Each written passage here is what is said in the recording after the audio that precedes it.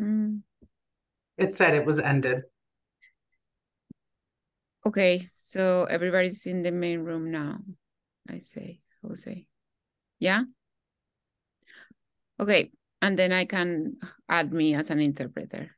So Awesome. start. Yay. All right. Excellent. Well, welcome everyone and thank you for your patience. Um, we're this is our first time doing a uh, translation service uh, Zoom meeting, so we're very excited and I'm, I'm excited to be able to welcome the UMass Translation Services here. And I'm going to go ahead and share my screen with the PowerPoint so that folks may be able to see. Uh, although I think I need rights to be able to see, or you have to make me the co-host, Camilla.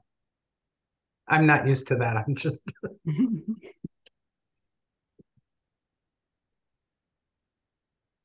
think you're, you can do it now. Yeah. I can.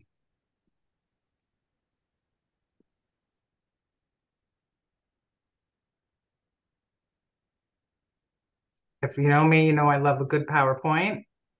And so I'm so excited to welcome the um, UMass Translation Center here to our meeting Translate to Educate. So I'm going to go ahead and let the interpreters um, introduce themselves and let folks know how they can connect to their channel. Eh, buenas noches, mi nombre es María Camila y para oír esta reunión en español, eh, haga clic en el icono de globo en la parte, en la barra de abajo de su pantalla y escoja el canal de español.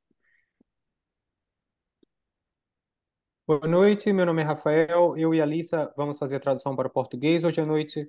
Se gostaria de acessar essa apresentação em português, clique no ícone de globo na parte inferior direita da sua tela. Muito obrigado. 大家好，我是吴燕。今天晚上的中文同声传译服务由我和我的同事张静文为大家提供。如果您需要收听中文口译，请打开您屏幕下方的小地球，选择中文就可以收听。多谢，Thank you。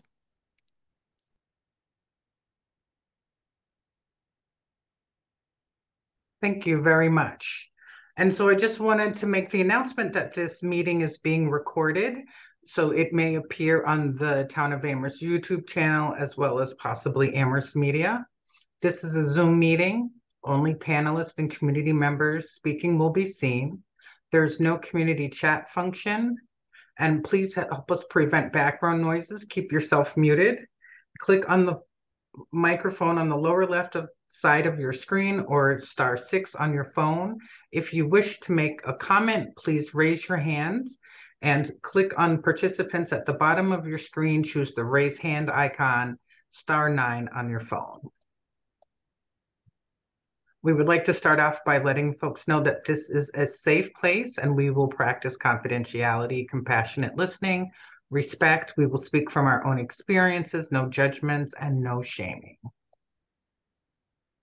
I would like to introduce the members of the Community Safety and Social Justice Committee. We have our chair. Actually, I'm going to stop screen share now so that folks can see everyone and live. And we'll start with Allegra. If you could just tell us um, your name and why you're interested in becoming a Community Safety and Social Justice Committee member. Um, so my name is Allegra Clark. I am a co-chair of the Community Safety and Social Justice Committee. I joined the committee in part because of the work I'd been doing in the community organizing with Defund 413 Amherst around reallocating funding from police into more community-based services and also from my experience as a social worker working in a um, in the court system and seeing people who have been serviced by the police that could have probably used more compassionate services um, in the community. So those were my two kind of motivations for joining.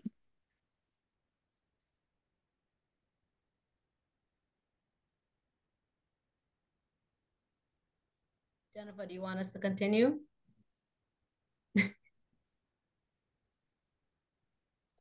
Sorry, I said Deb Ferreira, but I was muted. okay. Hello, everyone. Uh, my name is Deborah Ferreira. This is really exciting. I'm really excited to have the translators on. Um, this is epic that we're having a virtual forum with translators. So we're really, really excited about this. Um, and hopefully it will mean more inclusivity and more people on.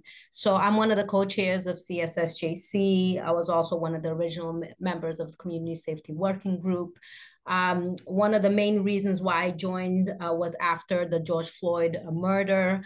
Um, as you all know, um, unfortunately, it wasn't the first time that a Black person was killed uh, by the police. And unfortunately, it, it, won't be the last time either, right? And so for me, it was very important for me to um, do what I could to try to prevent these types of incidents from occurring. Um, and of course, I went out uh, protesting but I wanted to uh, do something that was more long term and more long standing. I also am a mom of uh, two uh, Black males. Um, one is 19 and the other one's 14 years old. And I was very concerned uh, for, for their lives, right? And whenever they walk out the, the door, I'm always concerned for their lives as being Black males. Um, so for me, I joined um, because I've been part of Amherst for over 25 years. Um, you know, I've worked within the, the arena of diversity, equity, and inclusion my entire career. And I think that Amherst needs to be a place for everyone, for all people, uh, BIPOC, from all cultural backgrounds, LG, LGBTQIA plus, uh, all abilities, all all everyone from every ethnicity and and and cultural background. And so I want to do what I can in in every inch of my uh, body and and what I do to make Amherst an inclusive and and and a place that everyone belongs and can be who they are. Thank you, Deborah. Dr. ette Hi, everyone. Um, I think I joined the committee because I um, wanted to supplement my understanding of politics, which for most of my life has been what I studied. It's been what I went to graduate school for. It's been what I taught. Um, and I had this feeling that um, there are things in the community that I couldn't learn just from reading books. And I had to learn that by um, becoming part of the town in that way. And I thought it was also an opportunity to get to know Amherst. Um, it's one thing to connect with students, but it's another thing to connect with other members of the community. And um, I've been interested in different ways in which um, we can learn a bit more about diversity and ways to be more inclusive. And um, I joined the committee both to learn and to see how I could serve in that area. Thank you. Lisette? Hi, good evening. My name is Lisette. Um, I joined the CSSJC um, due to the reasons that I I grew up in Amherst. I've lived here for the last 23 years. Um, my career is in the criminal field, and I wanted to see what kind of issues the town of Amherst was having in terms of um, race, inclusion, and social injustices. Um, and that is one of the biggest reasons why I joined the committee. Thank you. And Everald?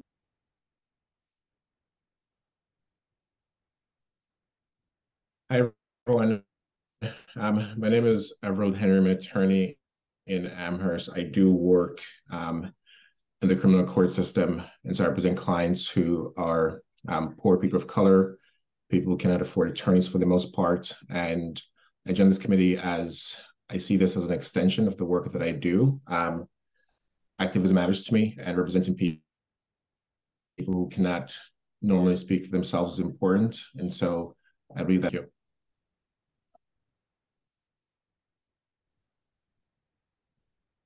Everald, I just wanted to make sure that you were finished. You broke up a little bit. You're all set? I, I, am sorry. I am. I'm having some internet issues. Yes. Okay, thank you. Thank you. So in addition to our interpreters and the CSSJC members, Um, we also have the Director of Diversity, Equity, Inclusion here, Pamela Young, as well as Asa Stanley Kem Kemler, who's the DEI office's AmeriCorps member. So the CSSJC is supported by the Office of Diversity, Equity, Inclusion. And so we all welcome you here tonight.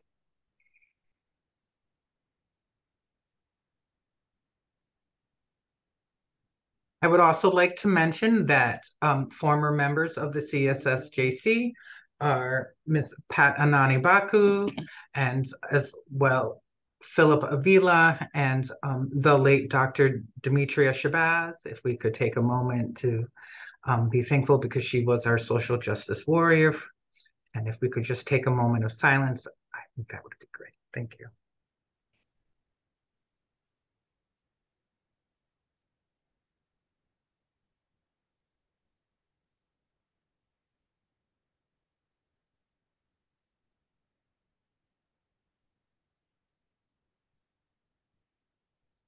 Okay. And so for those who don't know, my name is Jennifer Moyston. I will be your host tonight, working with the CSSJC. And so we're going to move further along here to our next slide in theory. There we go. So Deborah, this is the Community Safety Working Group, and I'm going to let Deb Ferreira um, go ahead and have an opportunity to speak. Deborah, do you prefer that I stop sharing the screen or do you want me to keep the PowerPoint up? No, you should keep the PowerPoint up. It'll be easier for me to follow in that way. Okay, great. So if you could keep the other slide though first, just mm -hmm. so I can talk a little bit about the members. Uh, thank you so much. Jennifer, and um, thank you for, for facilitating. I mean, it's awesome that you always agree to do uh, these town forums, and we're so thankful to have you as one of our uh, champions of, of diversity, equity, inclusion. Thank you so much. So I want to talk a little bit about Community Safety Working Group. Um, this was the group that um, came together back in November of 2020 after the George Floyd uh, murder and after um, Amherst um, did their proclamation basically um, stating that they would uh, dismantle racism and be an anti-racist um, you know, town structure, right? And that the structures would be anti-racist. And so our group came together. We actually had Paul Wiley as our first chair, and he he was with us until about April. But then the rest of the members that you have here, right? Brianna Owen, who was a co-chair, Ellisha Walker, who's Councilwoman Ellisha Walker, who was also a co-chair, Tashina Bowman, um, Ms. Pat Onanibaku, and Russ Vernon Jones. And there's also Darius Cage, um, who also uh, was part of the um, community safety working group. And he was our uh, youngest member, our youth leader and youth member, which we were so happy that he was on board and he was part of, of our uh, community uh, working group. And basically we met from November 2020, basically every week uh, for about two hours until November 1st, uh, 2021 and we had a charge to really look at alternatives to policing as well as um, looking at reforms uh, to the policing uh, uh, police department here in, in Amherst. Um, and so we worked together, you know, diligently um, to come up with two reports that we came up with, a part A and part B. Um, I, I'm, I'm forever thankful to this group of people uh, who um, were fearless uh, during a time um, of, of great pain, of, uh, of great sorrow, especially during the pandemic, the height of the pandemic. And we were meeting and we were going through everything together to bring about these alternatives. So I want to um, say hats off to them again and, and thank you for, for the hard work. If we can go to the next one. So as I mentioned, um, we had a part A to our recommendations that we made to the town council, to the town manager, um, and, and as part of our charge. And um, one of the main um, recommendations that we made was to create the Amherst Community Responders for Equity, Safety, and Service, which is called the, CRESS Department, right? So I know you all have heard about CRESS. This is our Community Responder uh, Department that is uh, uh, their own separate department that is unarmed right and and go out into the community and basically assist with anything that is non-violent so if if anything is non-violent or not seriously criminal the CRESS Department should be responding to it. They have their own number, and they also should be getting dispatched by the police department and getting dispatch calls. That hasn't happened yet. So that's one of the things that if you all want to discuss today, please feel free to do so. But we wanted to make sure that the CRESS Department, as their own independent department, were able to receive calls through their own independent number or through dispatch at, at the police department. And as I said, a public safety, they are a public safety department and responding to it, which includes, right, assisting anyone with um, alcohol, drug abuse, mental health issues, houselessness, but it's a, a, first and foremost a public safety department. As you all have heard, there's been a lot of um, transition and issues uh, going on um, right now in, in, regards to CRESS. They have a temporary leadership um, a team right now that actually the director of DEI, uh, Pamela Young, is, is the lead on. And then they have um, Kat Newman and then someone from uh, the police and then someone from the, the fire department on this leadership team. There was a director that was on board uh, up until August, but then was put on leave. And then uh, resigned. So a lot of transitioning happening. So this is one of the things that we want to hear from the community about. How has CRESS been working? Um, how can it be improved? How, what can we do during this time, right, of of transition to make sure that that CRESS stays strong? Because you know, from the feedback that we've received, right, thus far, is that it's a very pivotal uh, uh, department, and so we want to hear more uh, from the community. We have a survey um, on our web on our website and also on the on the I think what is it community community uh, page um, Amherst community page that asks questions specific to CRESS. So if after this you have more input that you want to provide uh, in regards to CRESS, please go to that survey. And I know that Jennifer will share with you the QR code in regards to that. All right. And then I'll move quickly through some of these other ones. Um, we recommended to create an Amherst resident oversight board. This is a board to, that is independent, again, uh, created with, with residents from Amherst that would be an independent place for people to go. And if they have complaints or concerns around the police department, they can go and file these complaints concerns. Because we heard while we were creating this um, th these recommendations, um, we heard that that there wasn't an independent place to file cons concerns or complaints around the police. So this is something we included in the report. However, that this uh, board has has not been put in place yet. I know that there's some work that has uh, been happening, and actually, there's someone I, I, believe a consultant that was just hired to that's going to be um, putting town forums in place to gather more information. But this is something that I know the community has been asking for um, for a long time. So hopefully this will happen sooner rather than later, but we want to hear from the community about it. Um, there's a Dep Department of um, Equity, uh, Diversity, Equity, Inclusion that uh, Pamela Young and Jennifer Moyston are, are the leads on. Um, as I stated right now, uh, Pamela is actually leading its CRESS. So, you know, it, it, it's a little bit more work, you know, for Pamela in terms of CRESS and then DEI.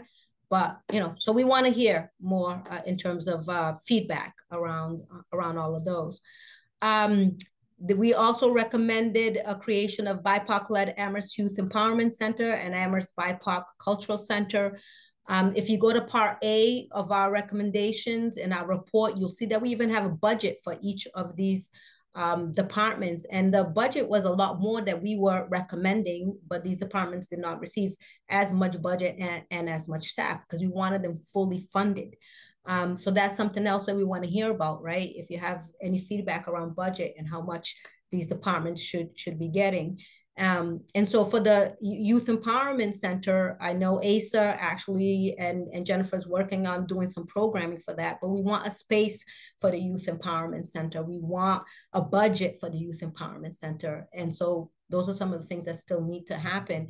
And again, we haven't heard much in terms of uh, the Amherst BIPOC Cultural Center and what's been happening in regards to that. Uh, we also recommend that, recommend reduction in size of the Amherst Police Department. Uh, from what I know, there's been more hirings in the Amherst Police Department, and our recommendation for that was obviously if there was any retirements or, or uh, if the, the police um, left, you know, because they they left their job, that there wouldn't be new hires. Um, but from from the information I have that there has been um, new hires at, at, the police department, even though there is uh, CRESS and CRESS has obviously been responding to a lot a lot of other incidents that the police would have normally been doing uh, before CRESS. Um, so we want to hear more uh, from the community in regards to that.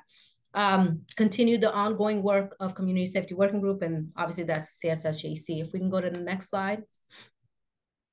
Um, some of the other things, so I'll just skip around with this one because I've already, so this was a part B, which we kind of repeated some of the things in part A, but some of the things that were new was really looking at, at the policies and procedures of the Amherst Police Department. So some of their policies in terms of use of force, consent searches, um, low level and pretextual, pretextual vehicle stops, um, and so on. And then uh, we also wanted a dashboard created, right? So that we could have data easily accessible to the community so that the community could know, you know, what is happening within the uh, police department. So, you know, that has not occurred as, as far as I know.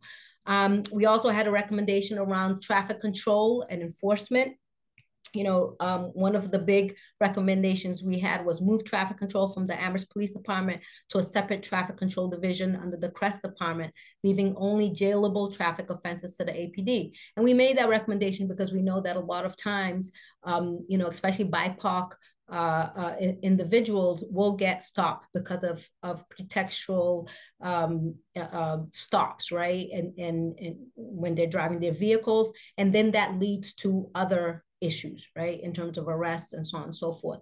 So this was one of the reasons that we stated, you know, move traffic control to um, to, to under CRESS as, as one of our recommendations. Um, you know, and then we had some of the other ones, which is informing drivers who have been stopped of why they're being stopped and, and giving them that information. And then, you know, pilot confirmation of racial identification, pedestrian safety committee. Um, and then one of the other, you know, pivotal uh, uh, recommendations we made was to engage our town in an extended process of community racial healing and visioning. I know some steps have been taken towards that. Um, Barbara Love was um, contracted and has begun doing a train the trainers. Um, of course, we're interested in finding out how is that going to be rolled out and how is it going to be engaging the town, right? You want um, everyone, not obviously you're not going to be able to get everyone, but we want all those that usually are not engaged in the process or whose voice we're not able to hear to take part in this visioning process. So, you know, we want to hear more about that and we want to hear from the community, you know, some feedback in terms of this healing process because we know that you can't continue to build if you if you don't heal from a lot of what we had heard before, which is mistrust and pain and and and and not being able to really um, depend on the police for assistance, right? Especially when it comes to BIPOC um, population within Amherst. So how can we, you know, heal this? And this is something that, that we have recommended. And then lastly, uh, but most importantly, of course, is developing an anti-racist department culture in the Amherst Police Department. We really want the Amherst Police Department to come out front and center and say that they are they are anti-racist and to really showcase what that means, right? And as we know right now, there's a, a, a search for a police chief. Um, and that's one of the things that I know when we were having the, these different town forums to hear uh, about the police chief search, it was to, to find a police chief that is anti-racist. And what does that mean? That there's not just to say anti-racist, but what do you mean by me by being anti-racist? Because if you're anti-racist, you'll be within embedded within every part and structure of the police department and and how does that look and we want to hear more in terms of of what that means um so i think i'll stop here for now and, and hand it off to allegra for the next slides Thank you, Deborah. Um, and again, thank you for all your hard work on both the CSWG and the CSSJC. Um, so I'm just going to review a little bit of the Community Safety and Social Justice Committee's charge. The overarching theme is to incorporate and continue the work done by CSWG for systemic change and to ensure the implementation of all CSWG recommendations adopted by the town council and or the town manager and track progress, such as the community responders for equity for safe Equity, Safety, and Service, uh, the Diversity, Equity, and Inclusion Department, the Youth Empowerment Center, and the BIPOC Multicultural Center to support the work of DEI and CRESS programs and employees that address the needs of BIPOC and other marginalized groups, including the disabled immigrants, LGBTQIA+, assist the town in exploring resources such as buildings for the Youth Empowerment Center and the BIPOC Multicultural Center, recommend funding sources, including grants focused on targeted priorities for marginalized residents with the most impactful and sustainable projects, ensure that the town implements a robust translation service. So I'm so grateful again that we have the interpreters here from UMass and that we are able to hopefully model to the town how a translation can be incorporated into a public meeting and also to provide input to the town manager during the budget process. Um, can go to the next slide.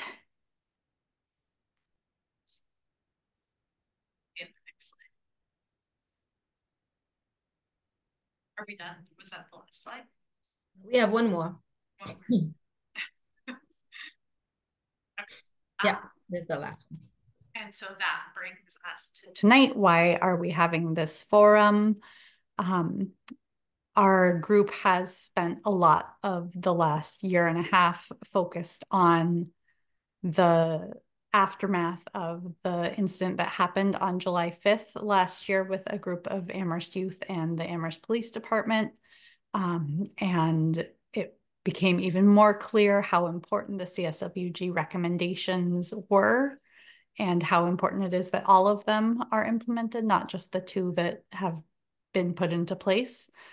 Um, so in reviewing some of the groundwork from the CSWG and from the various consultants that they used, including the Seven Gen Movement Collective and the LEAP, which is law enforcement, uh, a law enforcement agency that does consulting work. Um, they had suggested that community engagement should remain an important work of the CSSJC as it had been foundational to the CSWG you know, recommendations and the implementation of the recommendations. And the LEAP report that was specific to CRESS did also recommend that the successor committee to the CSWG gather community input on the implementation of CSWG recommendations. So this is a forum for the public to share their ideas. We would love to hear if anyone has had experiences with CRESS um, or what they would hope that CRESS could help with in the future. As, as Deborah had mentioned, CRESS is kind of at a transitional point, And so I think this is a great time for us to be having these discussions since there will be some new leadership and some new responders coming on board. Um, it hopefully will be a time where we can all sit down together again and say, you know, this is what the community thinks is important and hopes to see from the program. And so hopefully the community can support the town in moving forward all of the CSWG's recommendations to ensure racial equity in community safety services in town.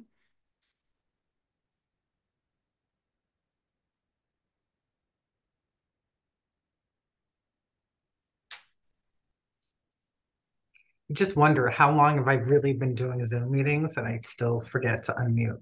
So we would like to open up now to the public for any comments or questions or, or shares um, that anyone may have. So again, if you could please raise your hand if there's a comment that you would like to share or statement that you would like to share.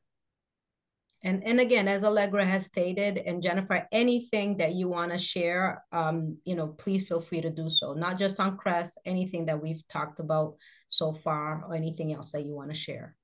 And obviously, we, we thank you for your bravery in coming forward and, and, and sharing with us. And I think just to, to piggyback off of that, I think if people are concerned about sharing in a public forum, the, the survey would be an alternative method to do so um, because those I don't believe will be collecting any sort of personal data. No, they will not be.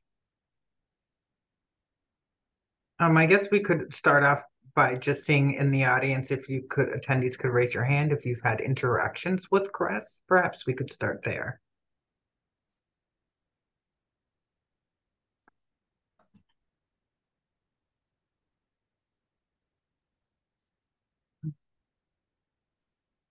So I see Orlando Roof has raised their hand.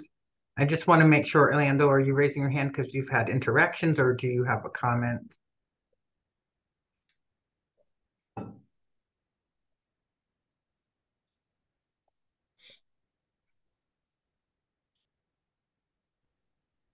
Hi. Orlando. I had a question. Sure. Um, how will you guys uh influence CRESS as it goes forward? I know you guys make recommendations, but will you have any like power in influencing how they like set themselves up as they transition? So I can I can start um, to try to answer that, and then obviously anyone else from CSSJC feel free to jump in. Um, so as you stated, you know we're an advisory uh, uh, committee um, to advise the town council and the town manager um, and others within the the town structure. And so for us, you know, we meet once a month, and we we obviously do work outside of that uh, monthly meeting um, to make sure that we're again, you know um, keeping up to date with what is happening around all of CSWG recommendations as, as I just went over those recommendations, but particularly around CRESS, because we know that that's one of the main um, departments that, that we recommended, that CSWG recommended. Um, so for us, we're going to continue to, you know, monitor, you know, ask questions, make sure that we are, you know, you know, recommending, suggesting, um, you know, bringing the feedback. And that's why we're having this town forum, right? Because if you, Orlando, or anyone else has other suggestions, we want to bring it forward since we are the that group, right? To make sure that the town is staying focused on making CRESS the best that it can be in order to provide what it needs to provide to the community around racial equity, around making sure that it's unarmed, around making sure that it's de-escalating situations and not escalating situations, and really providing um, those resources um, to the community, which before, you know, obviously because of what, what whatever the case may be, wasn't being provided. So we're going to continue on our task to make sure that these things uh, happen. Okay, thank you. I guess I was just um I think looking forward, I would like for CRESS to have as good public engagement as you guys do, which is why I was interested in uh, your collaboration. So thank you for answering my question. Okay. Yeah, and and that's one of the things that we want to continue to do is to collaborate with CRESS and make sure that we're we're being supportive of them too, right? What they need, we can also help with, and vice versa. Thank you, Orlando, so much for your question.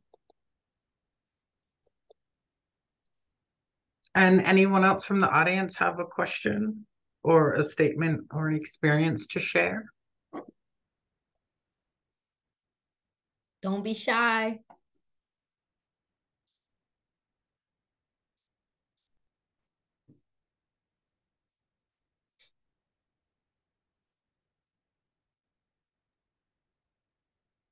So this form is about more, oh, here we So go. there's a couple, yeah, a couple just came up.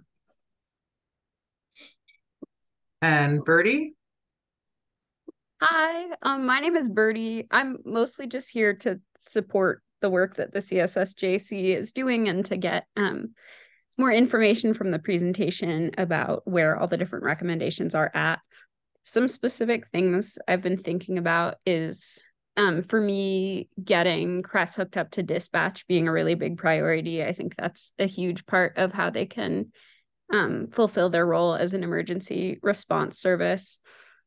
I was also thinking about the question about what it means for a police chief to be anti racist. And I would love to see the town hire someone who is open to a departmental shrinkage which I know is a big ask because people who want to be police chiefs tend to be passionate about policing. Um, but I would love to see someone who is open-minded about services being switched over to CRESS and and watching the force go down in size.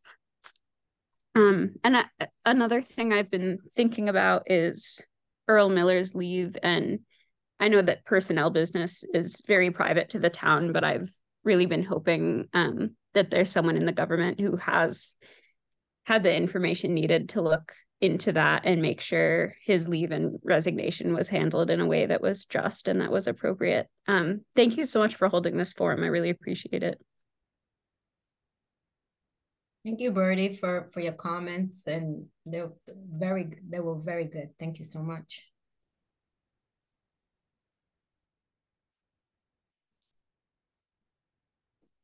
And Lydia? Yes, hi, I'm Lydia Spiegel. Can you hear me?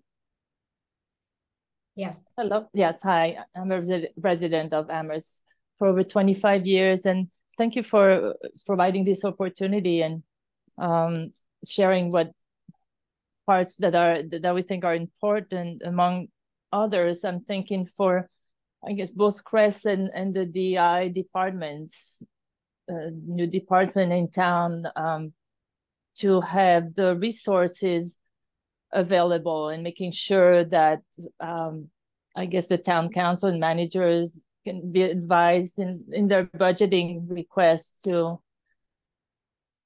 to ensure that there is uh, enough resources that will um, actually go where where we where the town say our priorities are and that the resources needed for both departments um, would be important to have in order to, to survive, possibly strive.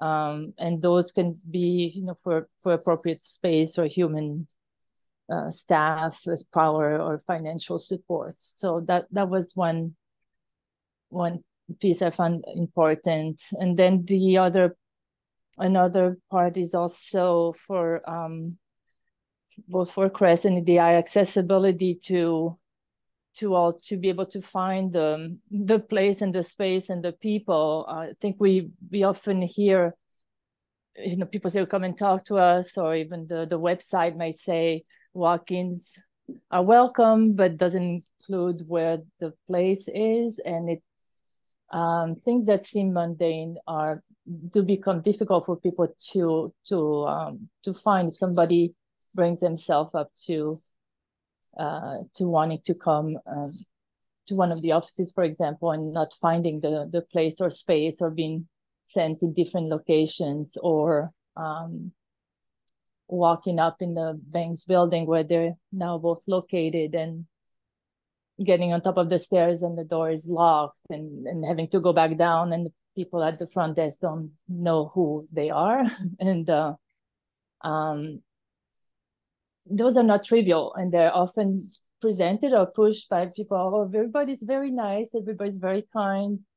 Uh, but yet again you know if it takes three or four steps somebody just might not get there. And uh, and so the importance of of um, having that accessibility and um, promoting it or or in in some ways that are more easily easily foundable. Uh, I think it's an important piece.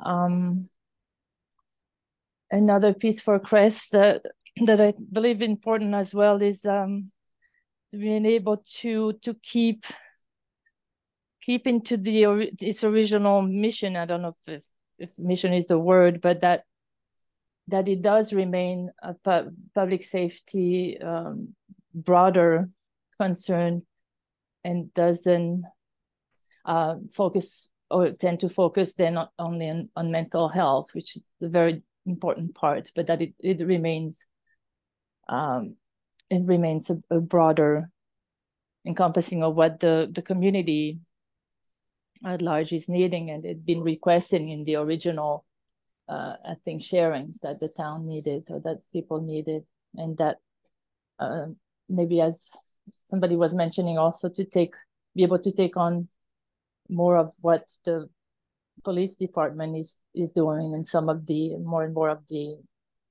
um of, of the situations that are that appear that can be uh, addressed by CRESS. That would be an important piece, and then including uh, youth and students and people, you know, from other countries, international students and others. So in the broader sense. Thank you. Thank you, Lydia. I know Everald, you wanted to say something? I do. Um, thank you. I, I want to say thank you to everyone that is here. And one of the things that I want to highlight is that while the committee here um, is working to get all these things implemented, I think the public as a whole has a lot of power. Um, we're fortunate to live in a small town where you have easy access to your government. We just had an election with um, existing members were reelected, some new ones. So I think it is important that when you think about these issues, you call the town manager, you call um, your counselor, and you say these exact same things that you're saying here. So they know that not only do you have a vested interest, but you're paying attention to what the town is doing and you're f- keeping them accountable to making sure that they are doing the things that um, are required. So um, thank you everyone f- for being here. But again, just to remind you that um, we need your support. Um, and a big part of that is keeping the town council accountable. And that starts with um, not only us, but with you guys, again, reminding them, calling them, writing them, speaking to them to say these things need to be done. So thank you. Thank you, Avril, for that reminder. That is so true. Um, and another reason in terms of us also doing this, right? So it becomes an and both, you know, calling in, texting, you know, going right to your town um, folks, but also, you know, sharing in this town forums. And obviously, we thank you all again. Like I said, it takes a lot of courage to share. And Lydia, you brought up so many important, um, you know, topics in terms of the budget and and you know, and really being um, for Crescent and other uh, town offices to be, you know, welcoming. What does that mean, right? In terms of being welcoming um, and and promoting and making sure that people know where CRESS is at and where DEI is at, and you know, and how accessible are these offices, right? And other offices in town too, because that sends a, a big message, as well as what is CRESS about. Like I said, right? CRESS is is is to be responsive, a public safety department to be responsive to anything nonviolent, um, and and dealing with a, a, plethora of of issues and concerns. Um, mental health being one of them, right? And we know that that's obviously a, a big and important topic, but it's not the only topic that CRESS is is responsive to. So thank you for bringing all of those up. Um, and again, that's why we're here. So please keep keep uh, providing the feedback. I think there's someone else, Jen, Jennifer.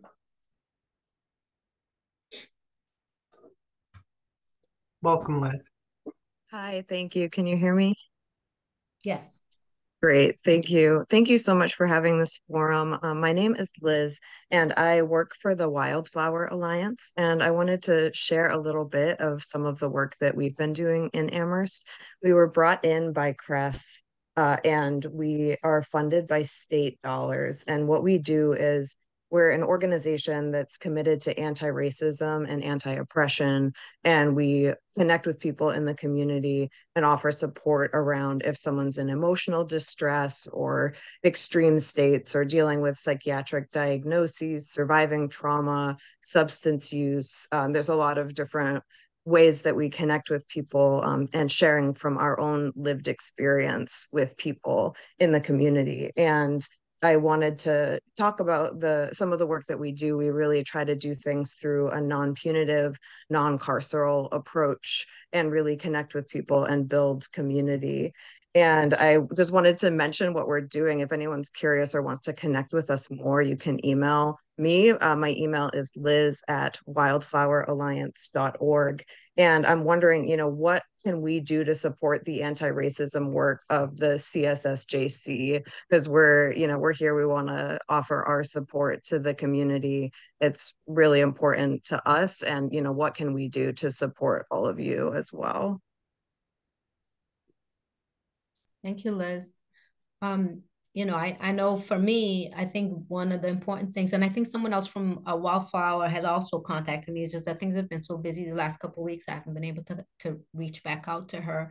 Uh, but just so you all know, you all are, are critically important to um, the work that that CRESS has been doing, especially in terms of your focus and and what you all are about, which is incredible.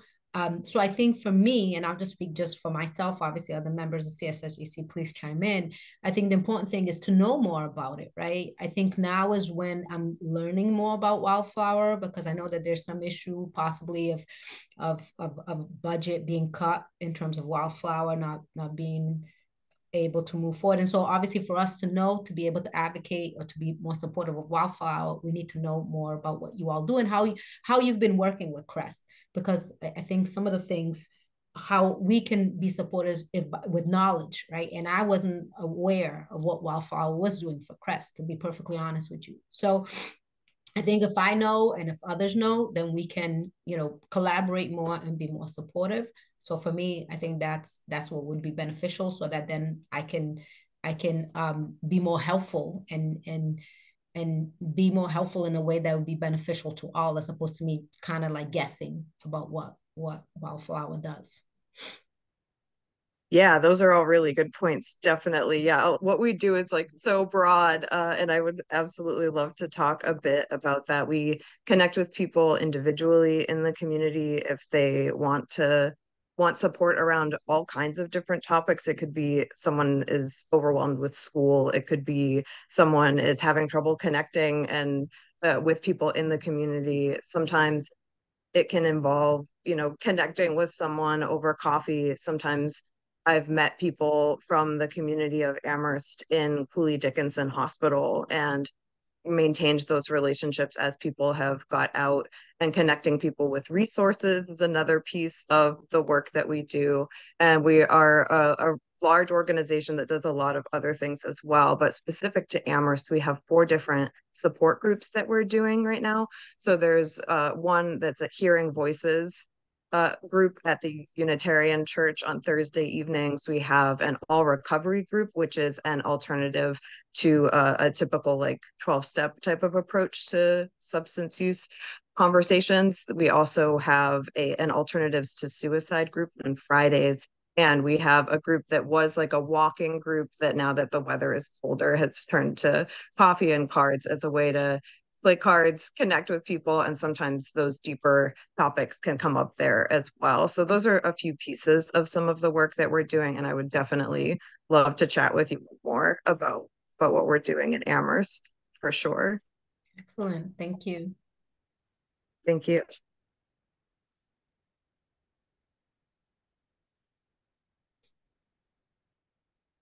I think we have another hand up, Jennifer.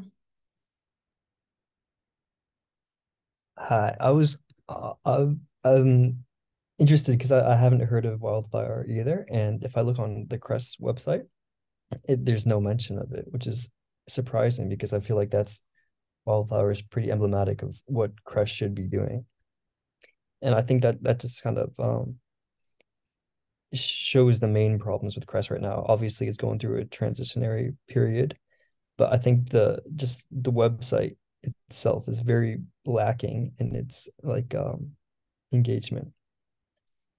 I think Thank it's kind of surprising that uh the first time I'm hearing it is through uh the CS uh the, the CSS JC, which is affiliated but separate. I think just integrating all of these parts would be the first, you know, like something that's really key going forward. Thank you, Orlando. That's a really good point. I mean, this is why we want to have these, right? So we can hear more about it and get these information, and then, of course, implement and and you know, like you said, communication, right? How can we communicate to the community? If the community doesn't know these things are going on, how are they going to take advantage of these wonderful uh, programs like what Wildflower just shared? So obviously, these are some of the things that we'll you know make sure that we're sharing with the town so that it can be implemented. Thanks so much.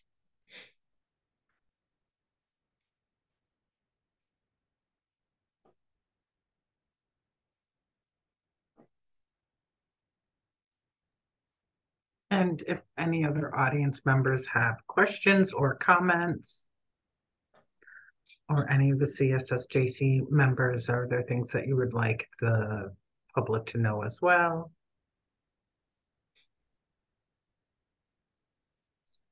Someone and just popped up. Kim. Welcome, Tim. Hey, thanks so much. Um, while there's kind of a gap in the conversation, um, I just wanted to uh, take an opportunity to also uh, sort of represent another press the program. Uh, my name is Tim McCarthy. I'm the executive director of Craig's Doors in town. Um, we are a the low threshold shelter in the region um, and have uh, really committed ourselves to um, the sort of deeper client focus case management um, Tim, we can't hear you too well. You kind of got muffled a little bit. not this laptop. Sorry, can you hear me now? Yeah, can hear you now. All right, technical issue. Um, we're also hyper committed to diversity, equity, and inclusion, particularly in our space, as long uh, as well as compensation um, redistribution between executive uh, executive uh, leadership and um, frontline workers. CRESS helped us fund our transportation initiative. We're the only uh, shelter in the nation right now that's providing full and free access to all of our guests um, via a public transit system. Um, and CRESS was was really critical in that. Um, uh, again, just kind of wanted to plug that we're out here, super supportive of the work that y'all are doing, desperate to be uh, supportive in any ways that we can. Um, if anybody wants to reach out to me directly, it's tim at craigsdoors.org. Um, and I also just want to take a moment to plug Kat and Tim and Tia and Janet and uh, you know everybody over at CRESS right now that is um, sort of sticking with the mission and trying to move things forward and and really reframing um, what this organization is and can be, and just to kind of celebrate their work and their commitment and sticking around through this transition. Thank you, Tim. These are pivotal uh, partnerships. So I'm really glad to hear about what you all have been doing with CRESS and obviously, you know, just how it can continue to be further cemented and strengthened um, because, you know, it's a transition time, but it is still a, a point of sticking with the mission of what CRESS is about um, and making sure that, that these partnerships are strengthened. So um, thank you for continuing your, your collaboration. Thank you so much, Deborah.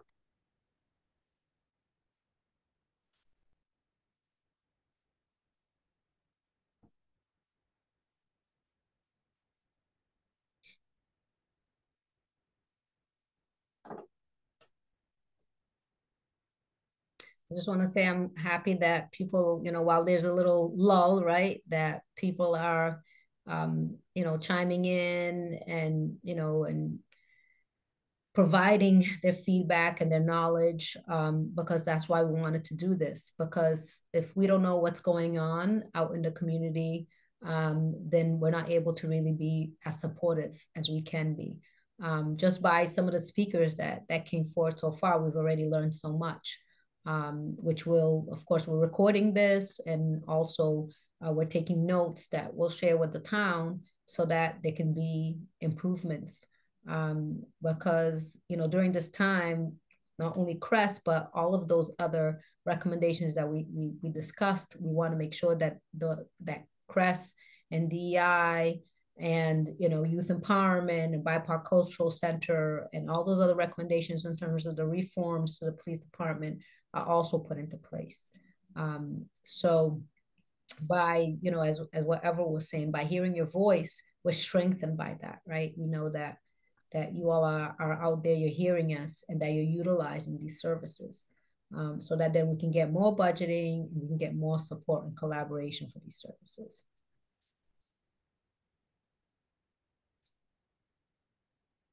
And are there other CSSJC members that would like to add? Well, there's So actually what- Miss Pat just popped Oh, up. Oh, did she? Okay, great. Hello, Miss Pat. Good evening. Can people hear me? Yes. Hi, Miss Pat. Okay, I didn't plan to speak tonight, um, but I decided to chime in. First of all, I want to thank you all for organize, organizing um, tonight's um, public forum. I think is very important. And Jennifer, thank you for the um, moment of silence for Dr. D. And Deborah Allegra for your presentation. Everyone on CS CSSJC. I know this is hard job. I used to serve on it. I think I need to make some couple comments. One is uh, transparency with um, our town government. Why is it now that way? We're learning about wildflower services.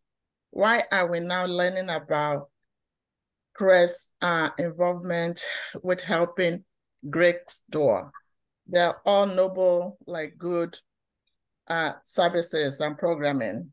And so I will hope that in the future, whether it's DEI or press program or any other program that, you know, it's very important that CSSJC are informed.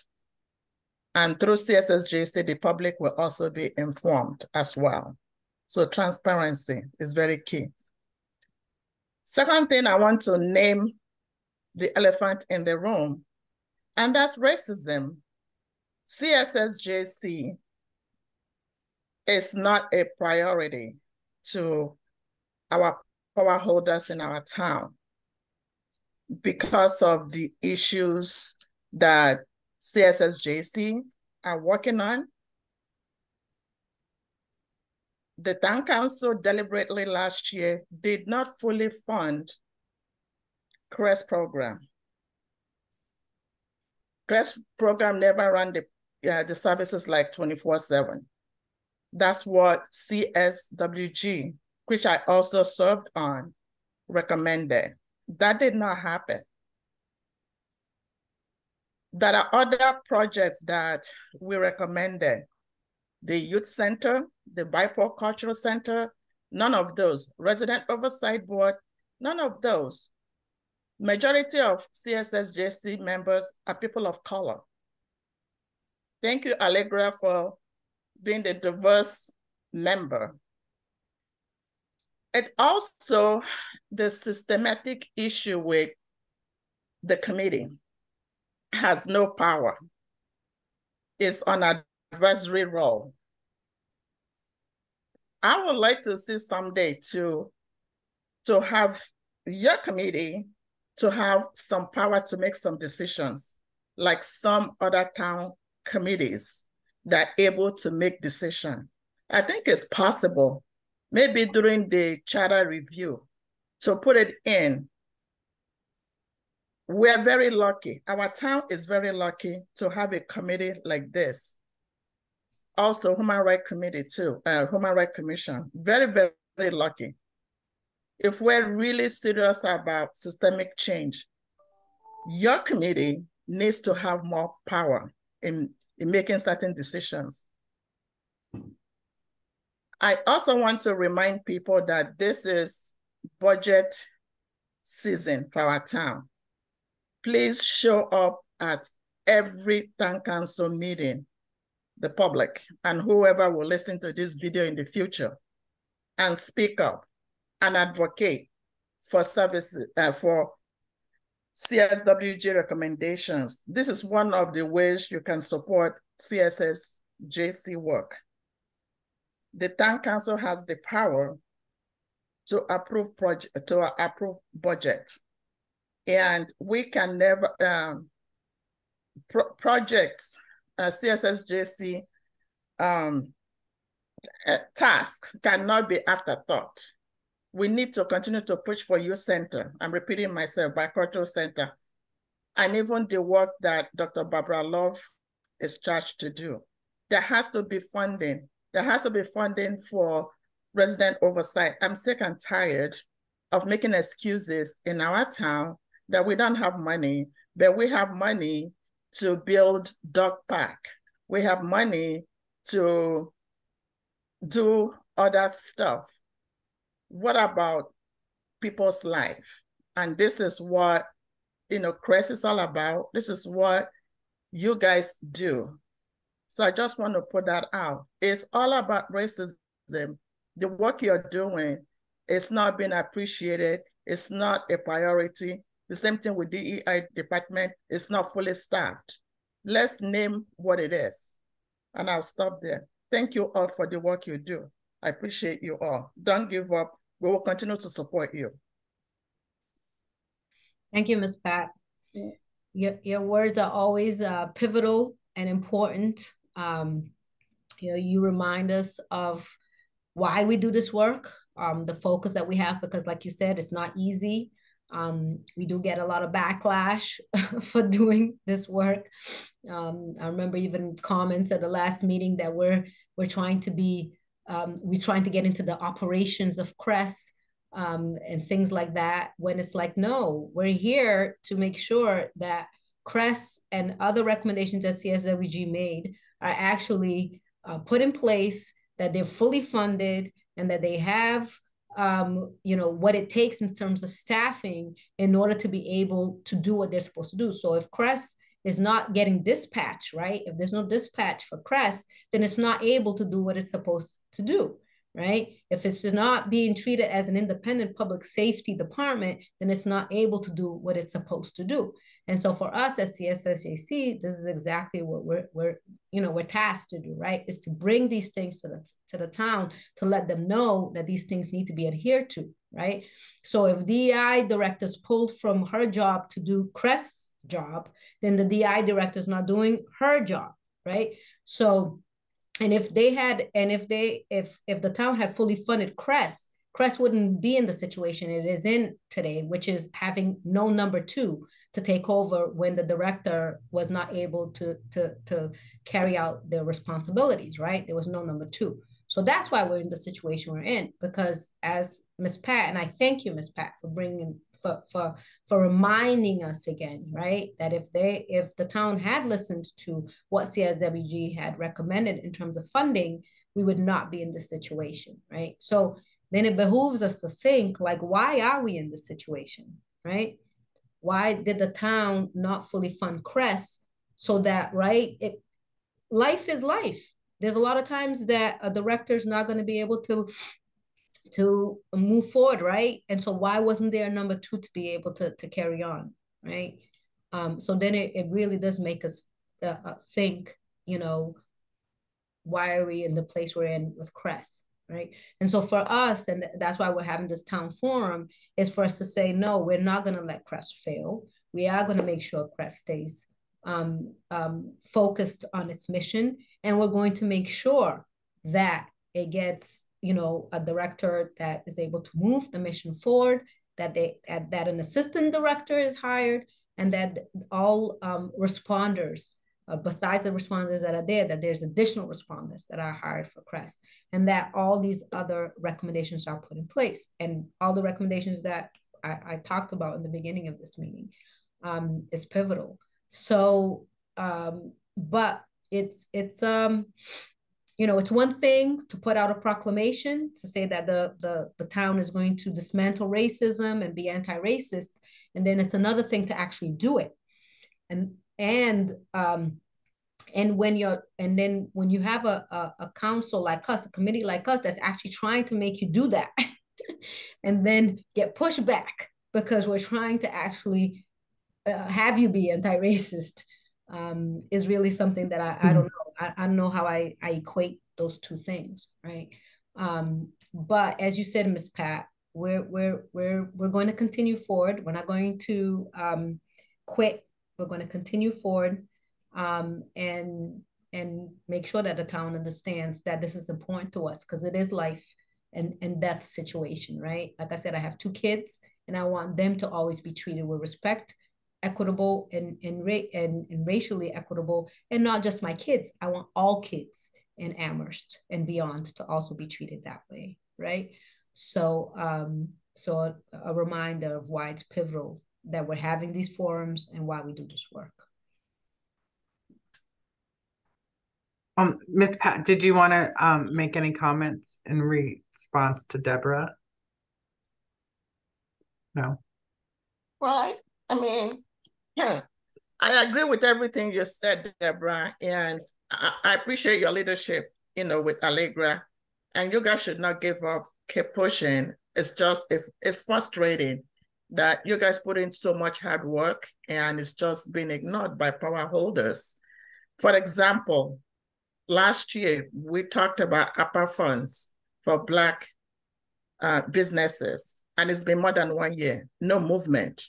But it was very easy to dole out money to white businesses to Drake, for example, $300,000. And yet, the most marginalized group of businesses in our town has not received a dime. Assisting businesses a dime. And yet we have four, $4.9 million left. CSSJC, thank you. You guys did support and advocate for my group, BBAA, but nothing. Nothing, our town manager, no movement, not from the town council. It's not even on the agenda. And this town council session is going to be ending soon. Nothing, because Black lives doesn't matter in our town. If we were white businesses, it would be a different story. That would be an urgency. The money would have been handed over to white businesses easily. So I agree with everything you said, Deborah. The fight must continue. Thank you, Ms. Pat. It's, yeah. Everything you just said, so you know, it's on point. That's what that's what it's about. And and the thing that that as we know, right, it's just like diversity. When we say diversity, equity, inclusion, anti-racism, we're saying this not just for people that look like us, we're saying it for everybody. Because how what life what would life be like if it was just monolithic right? Just one just one um, you know group of people. Um, we wouldn't have all of the the wonderful you know bounty that we have. And so we need we need people from all backgrounds all languages all um, you know areas of life uh, to be able to be fully themselves in our town. And this is what we're striving for right and so for us to always get the, the pushback in terms of doing it that's what's difficult but I'll stop here. I don't know if anyone else wants to chime in.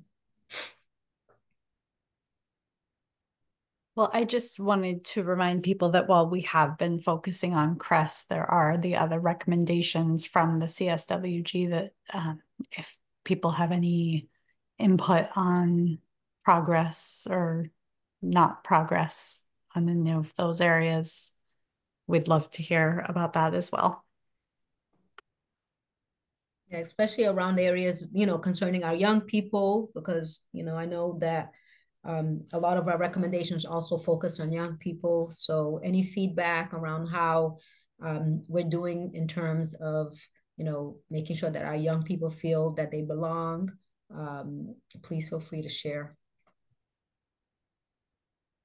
So the other recommendations are the youth may empowerment. Just...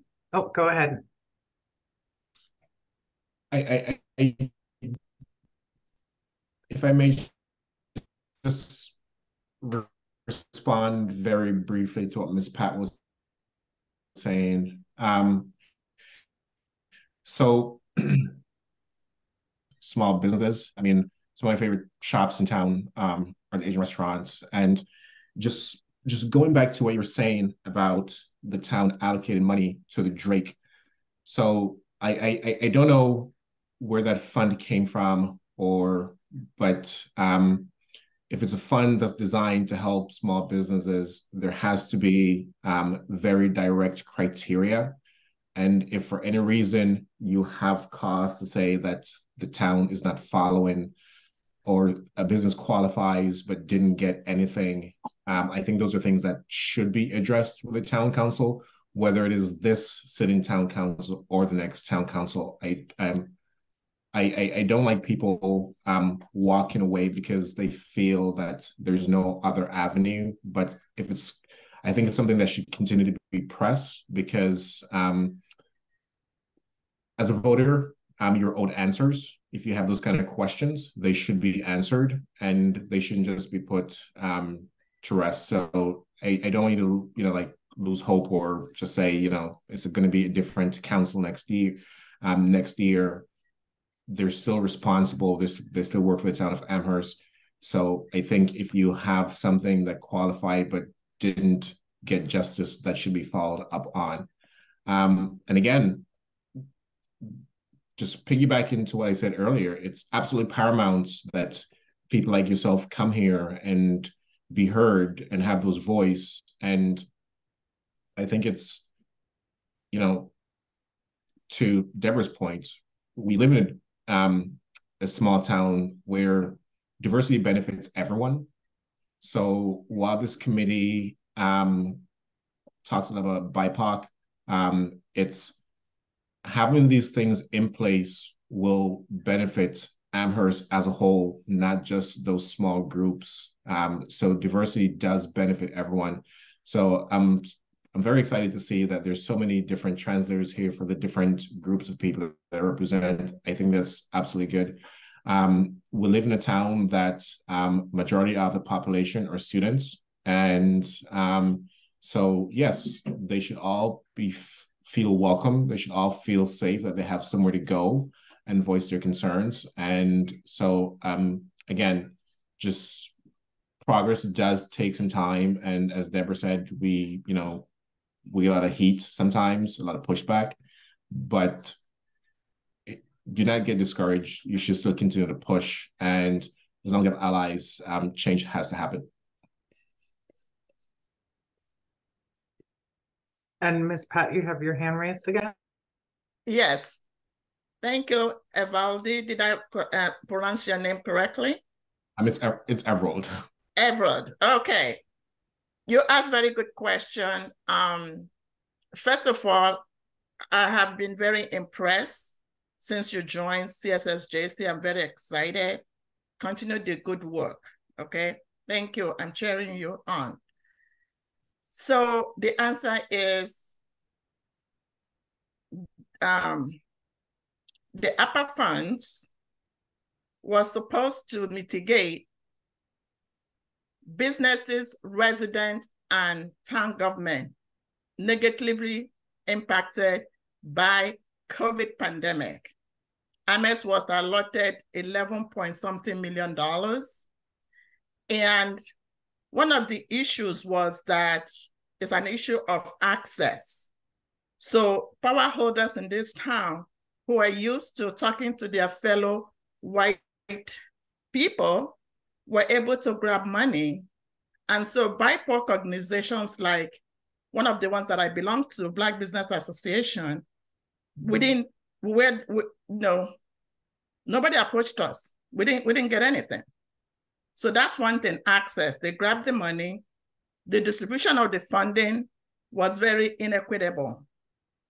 For the business community, it was like 700 and something thousand dollars. And a nightclub got 300,000 from that amount of money. And then like 100,000 was like for so many businesses.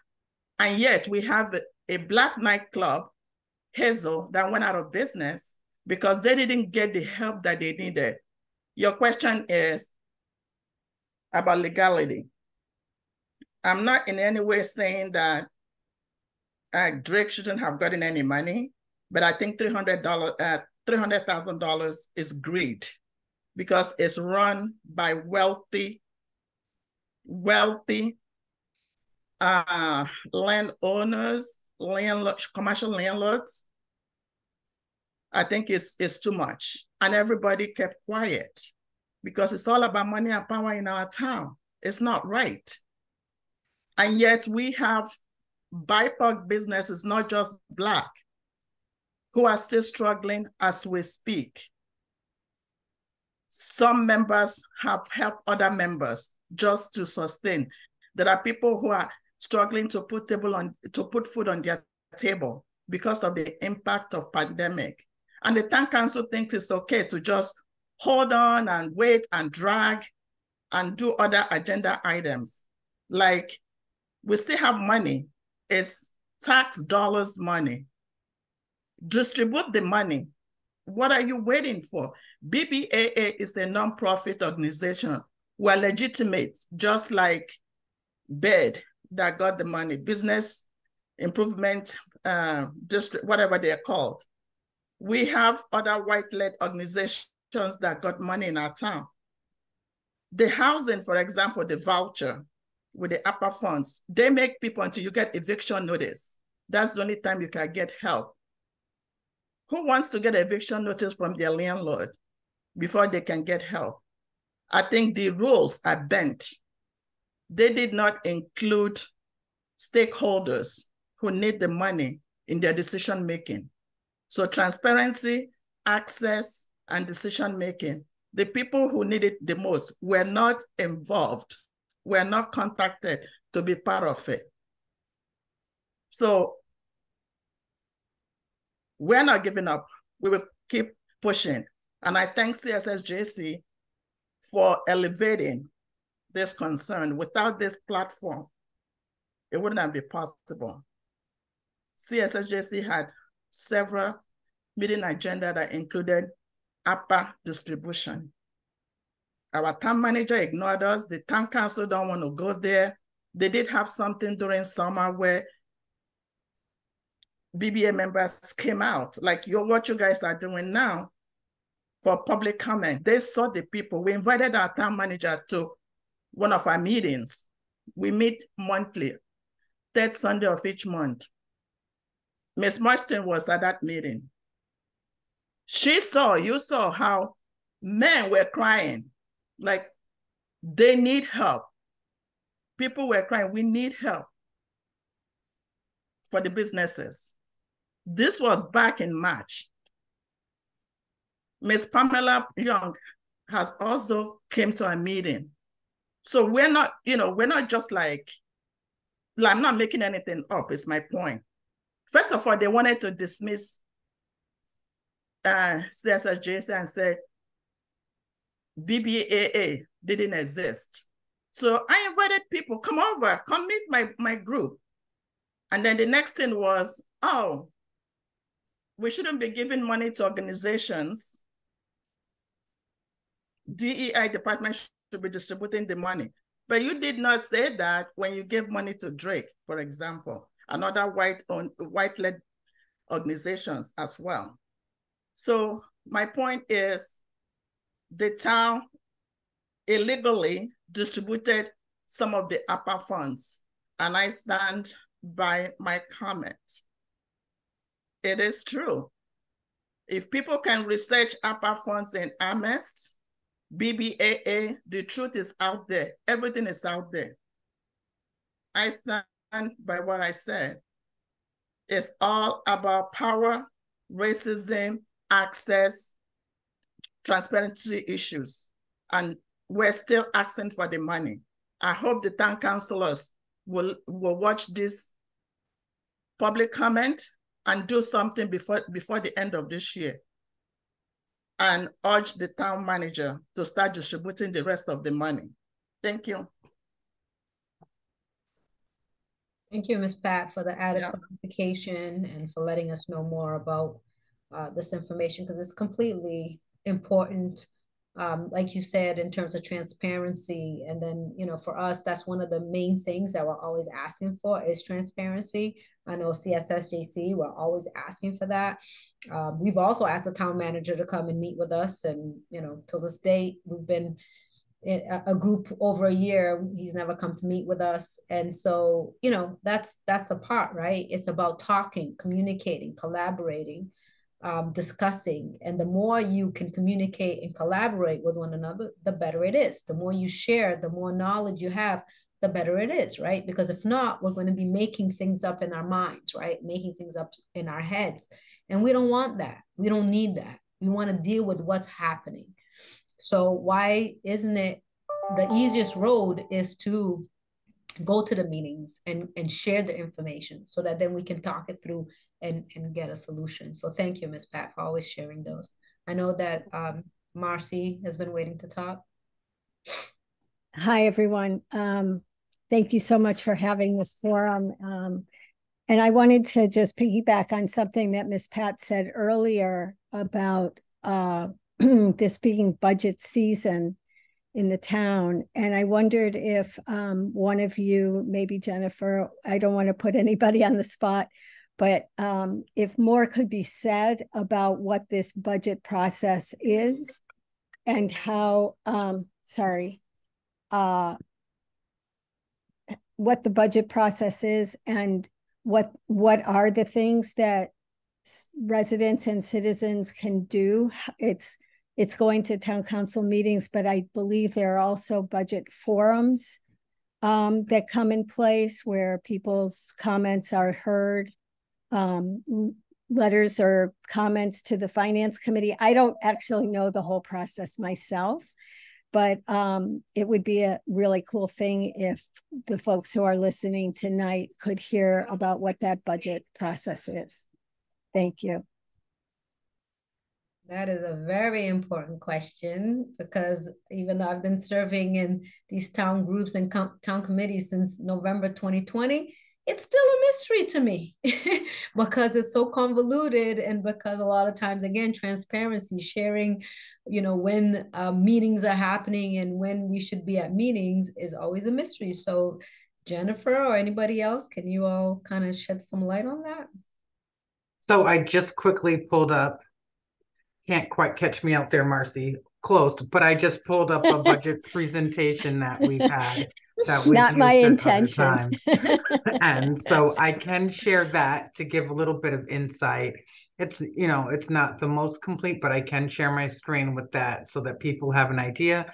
And I would say the things that I've seen in the past that work really efficiently is when the community speaks out so to the town council so that's either by email through public comment i mean email seems to work a lot too um, and so that's just a constant like flood of emails and um, in support of whatever it is. And then also speaking at public comment have been very useful um, tools and resources for the community to use to make the changes that they would like to see in local government. But i will stop now and share my screen. And so this is the presentation that we have used. Can you all see the town budget that we have used previously um, when we have new boards and committees to give them an outline or an understanding kind of of how the town budget process works. So September through December is the Community Preservation Act kind of, and I'm you're probably not the best person to explain all of this, but so there's kind of a setup of when things are due. And so the most important is that in November, there's the financial um, indicators, uh, the, the capital request. I mean, this is where the um, Youth Empowerment Center would fit in, the BIPOC Empowerment Center, because that's going to be a capital request most likely. And then, as you can see, the financial indicators, the budget forum. And this was for 2022, so I'm not sure if these dates are still held, but this is a, an approximate. Um, we go through the guidelines. Budgets are due. Town manager's budget is due May 1st. So that's the things that you want to see. And the changes through the budget need to be submitted most likely, I would say, closer to uh, December or January and February to get them to the town manager so that it can make it inside of the town budget.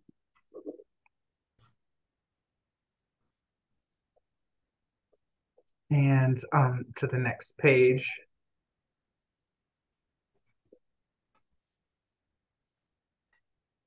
So you can always have things done through your staff liaisons, the schools, the libraries, the town council, town manager, engage Amherst.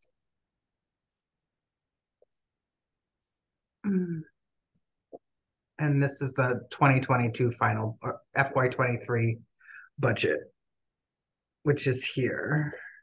So I don't know if I can click on that. I don't know how helpful that just was, but it does give an, a roundabout idea. Allegra?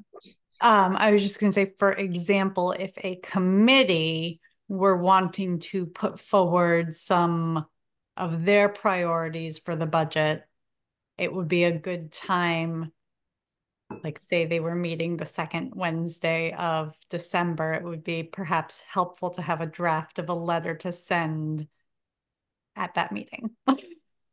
yes. And that that letter would go to the town manager to say on behalf of this committee, these are the important areas that we would like to see funded.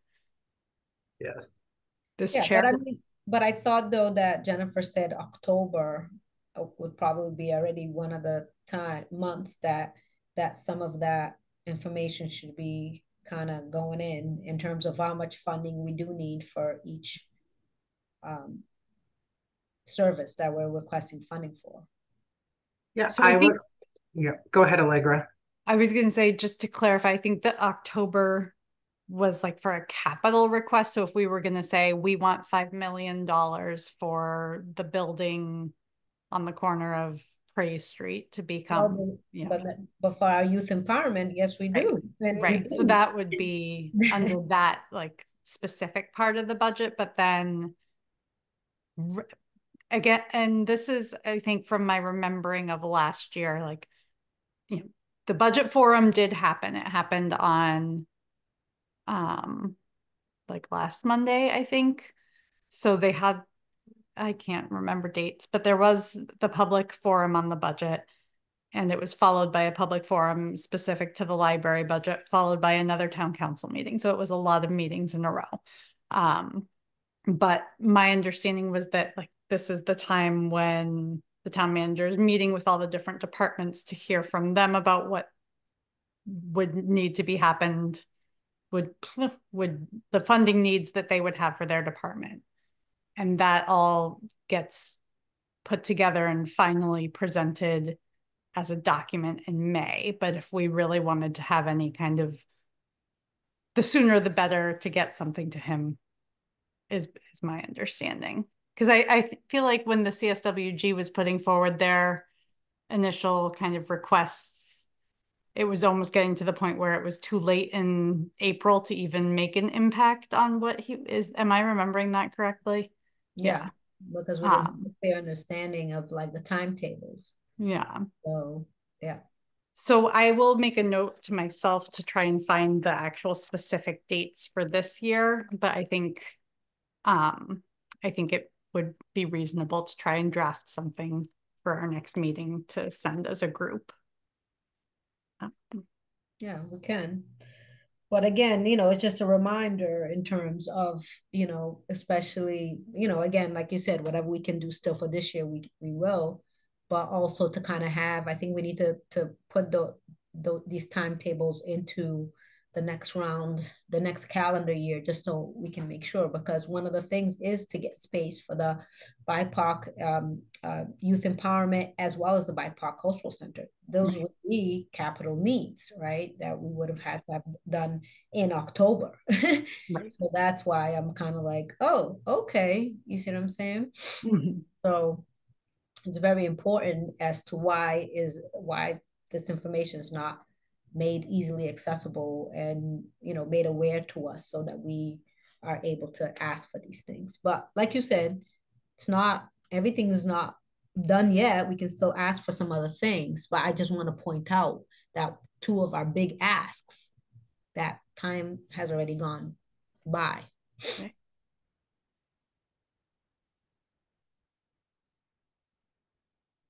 But thank you, Marcy, for bringing that up and, and Jennifer for um, sharing that information. We're going to build that into our meetings moving forward. Absolutely. So I just wanted to take a time check because it's eight oh three and we have time budgeted until eight thirty.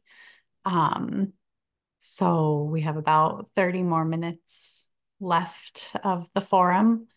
Um, and again, if anyone has any comments they want to make, use the raise hand function and then we will hear from you. Yeah, and just to to, to kind of go off of what you said, Allegra, we do have a hard stop at 8:30 because obviously we have the translators and, and everyone involved, which hopefully people have been utilizing. And again, we have been showcasing how to use um, translators so that hopefully the town will will do the same moving forward to show that virtually you can use translators um, so that you can be inclusive and have people uh, other other voices be part of the conversation. Um, and also, we probably have about 20-ish minutes because we'll probably start wrapping up around 8.25 so that we can do any final comments. Everett? Thank you. I, I do want to make one more announcement, given that we have a hard stop at 8.30. Um, the town of Amherst has a low income housing project before the ZBA, and I'm happy that there's so many translators here. Um, there are weekly meetings scheduled. Um, we took a break over the holidays, but they are back on starting tomorrow. Um, the week of December 21st is a very crucial meeting. That meeting talks about um, how people qualify, the financials, um, and things of that nature. So I would encourage everyone to spread the word to attend that meeting, ask as many questions, make as many public comments as you can. Um, the the intent behind this housing development is for low income and BIPOC people. So um, it's meant to benefit the community as a whole.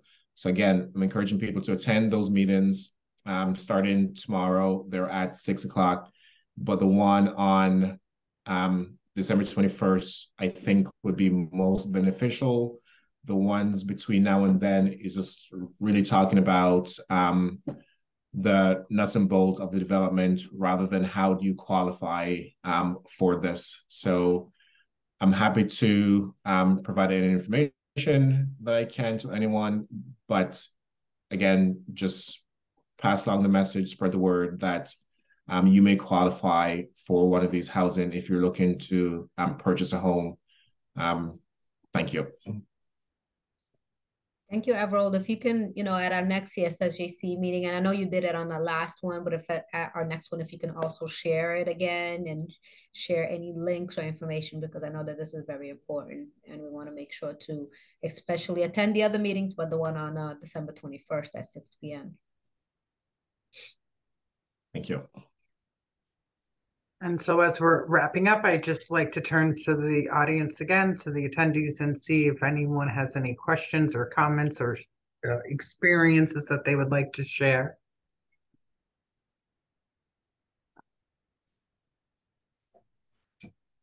Um, I'm going to give a few announcements in the meantime while we wait to see if anyone would like to raise their hands.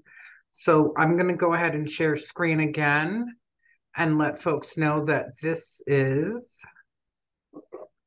the QR code to the CSSJ survey that's up right now. There is also another in-person community forum on Saturday from 10 to 12, I believe. Yep. So the the the in-person's on Saturday, uh, 10 to 12 p.m. If you need um, um, care for your child in order to attend, uh, there's a number, right, Jennifer? What's the number that they can call? Yes, they can call the DEI office, which is 413-259-0360. And um, and it's at the town room, but that's what on the second floor, right? Yes. So uh, because the front doors are being worked on the front steps, people can enter on the main street entrance and take the elevator up to the second floor. Excellent. And I'd also like to announce that the there will be a series of community forums regarding the resident oversight board that are starting on December 17th is the first one. That will be a hybrid meeting at 1 o'clock p.m. And then the second will be on Wednesday, January 10th at 6 p.m. These are all in the town room. They are all hybrid meetings, as well as January 18th at 6 p.m. and January 21st. We will be uploading a flyer shortly to the community calendar um, and to the news and announcement page, page on the town website, which is on the front page of the website. So um, Jennifer, just going back to uh, the Saturday in-person town forum, I just want to make sure that everyone that's listening in, please share um, to all your networks this in-person opportunity. As you all can see, um, these town forums are very important for us to get information and for us to get feedback so that we're able to share with the town and obviously, you know, work towards, um, you know, making things better here in the town for everyone uh, from all uh, backgrounds. Um, so please, you know, share that we're having this town forum in person. There's going to be translators there again um, at, at, this meeting. Um, there'll be, you know, just some light refreshments too. I know that's also always a draw, right? When you have an in-person meeting, and then, like I said, um, care for for children. Uh, because we want to make sure that you know as many people that want to attend do attend on Saturday. 10 to 12 p.m. town room.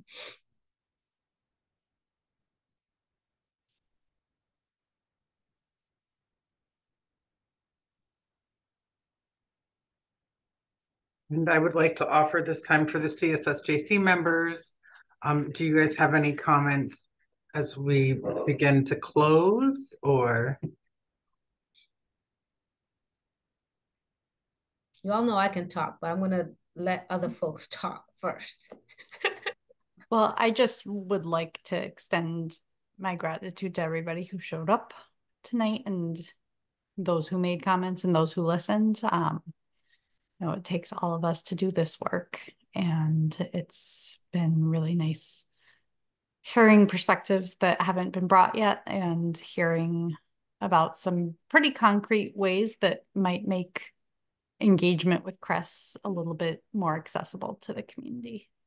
So thank you.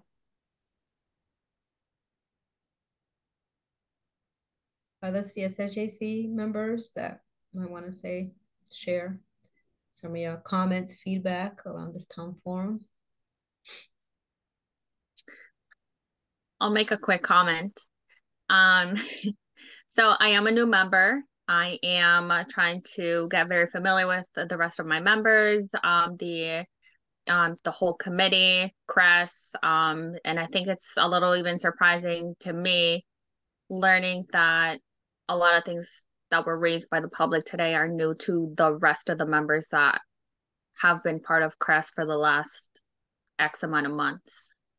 Um, so that's pretty shocking, but I look forward to continuing to be part of the committee and learn and um, be able to look into CRESS and other topics that were raised during this meeting. Thank you, Lisette. And one of the nice things is as much uh, useful as in-person um, online meetings are in person kind of brings back that a little bit more of that unity. So it'll be nice for you guys. It'll be the first time that you guys meet as a new committee in person. So that'll be very nice as well. Mm -hmm. Um, Dr. Ete, do you have any comments? That actually was what I was going to make a comment about, which is that I appreciate everyone who um, made time out to speak and also to listen. Um, and one of the things about these meetings is sometimes it, it can seem as if we are speaking into a void. Um, and so I thank everyone for their time tonight, and I look forward to seeing everyone and even more um, on Saturday. And I'd also like to thank the translators um, and the um, committee for really pushing this idea. I'm, I'm, I'm really proud. Thank you.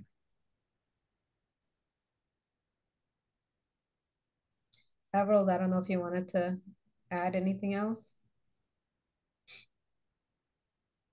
I, I too want to say thank you to the translators and also to Jennifer um, for all the work that you've been doing. Um, I know it's been taxing and I think it also would be good that we actually have this in person on Saturdays. I'm looking forward to that as well. Um, and for for everyone who shared, um, thank you for that because while we're trying to do this work, the things that you say to us also opens our eyes because we don't know everything that goes on. So when you say something to us, you're also informing us of things that we don't know about. So it's I appreciate that everyone comes here and is bold enough to voice what is happening in your community, in your neck of the woods, because those are things that we need to know about. So where we can, we can address those with um, town leadership. So thank you to everyone. And I just like to add, um, you know, it's really uh, wonderful that we had as many people as we did today um, come forward and take their time um, because we know time is you know most critical in everyone's lives. And you could have chosen to do anything else um, during this this period in time and you decided to to join us um, and it's just um, critically important for us to hear your voices. And i think we've all said that right? Sometimes it, it might feel lonely for us to be out there right? Um, you know doing this work. And so it's, it's important to hear from the community and to hear that there is right? There's more to be done. There's more that can that can get improved and that um, can be made better Um, and we know that it's a, a relationship, right? And a relationship based, based on trust. And we've talked a lot about transparency. We've talked a lot about, you know, sharing information and knowledge. Um, and I think that that's what, what this is about, right? And the only way that we can share this knowledge is, and this information is, is making it as accessible as possible to as many people as possible, right? And that's what we're trying to do with having translators, which we're, again, you know, and I'll again thank you all because it's so important to showcase that, right? Um, because a lot of people have always had a wall put in front of them for them not to be able to take part in these meetings. Um, so accessibility and and feeling included and, and feeling this feeling of belonging is um, is is what we want. And we know that we still have a lot more to learn. we know that we still are making mistakes, us, all of us. You know, I'm a learner. Everyone's a learner. So wherever we can improve, wherever we can do better, please let us know. That's what we're about, right? Um, it's not about being perfect. It's about, you know, how can we improve and how can we make things better? So thank you all again uh, for trusting us, for um, sharing with us. Um, it's the only way that we can move forward is if we move forward together. So thank you. Allegra? Um, I don't think I have anything else to add. I just want to echo everybody's thanks to the translators as well, the interpreters for being here available um, to help broaden our reach. So maybe we just want to see if anyone else want to, wants to chime in before we could also wrap up too now.